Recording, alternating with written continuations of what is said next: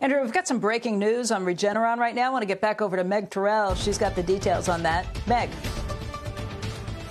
Hey, Becky. So we know that Regeneron has this antibody drug that's on the market for COVID for people who are recently diagnosed. Well, just like Lilly, they were also testing this antibody um, in prevention. So of people who live with somebody who's been diagnosed with COVID, and they are just releasing these prevention results right now on their antibody cocktail, this combination of two. And they say that in this analysis of 400 people in this trial, they were able to prevent 100% of symptomatic infection. So prevent everybody from getting the disease uh, in people who live with somebody with COVID. Um, and we're able to cut down by asymptomatic infection or transmission really by half. Now, the numbers on the disease part are pretty small. Only eight people in the placebo group um, got sick, uh, zero in the drug group got sick, out of 223 on placebo and 186 on the drug group.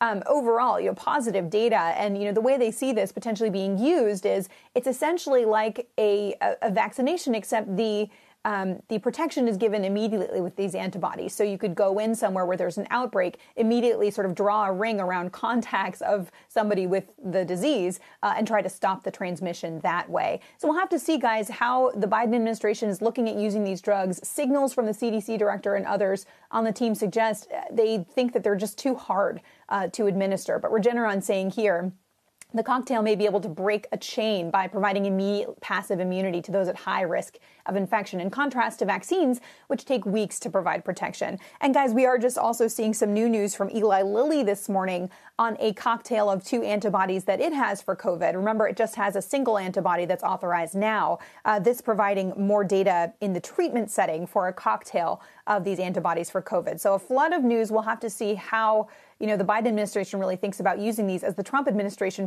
millions of doses, but we've seen them be really hard to administer. Andrew?